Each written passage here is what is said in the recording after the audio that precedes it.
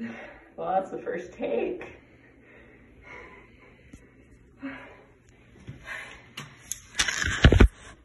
Other than my fumble, how was that? I thought you did really good.